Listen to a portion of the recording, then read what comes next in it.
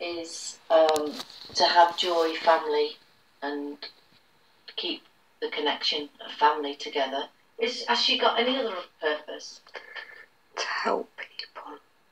And how will she help people? Be kind. Or by being kind. Mm-hmm. So Hilary, now what I want you to do, I want you to make yourself as tiny as a cell. What's the cause of this fibromyalgia? How did it start? In a dungeon. In a dungeon. Mm. So let's go to that dungeon and tell me, is she in that dungeon? Yeah. Is she male or female? Male. She's male. Why? Why was he in a dungeon? What had happened? Thrown there. Hmm. So had he done something or No. threw him in that dungeon? The king. The king. So what country were were you living in that life? Norway. You were in Norway. So you didn't get on with the king then? Evil. The king was evil? Yeah.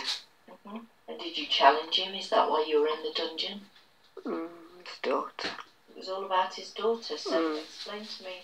I tried to help her. Oh, you tried to help her.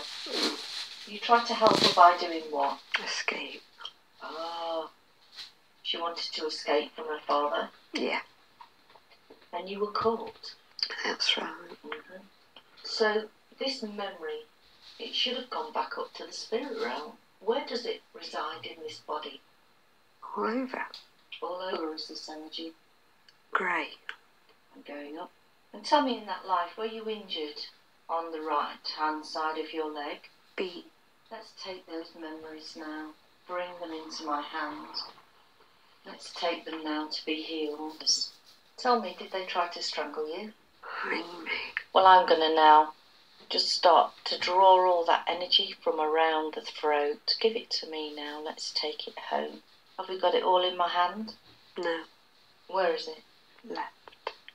Left what? Left leg.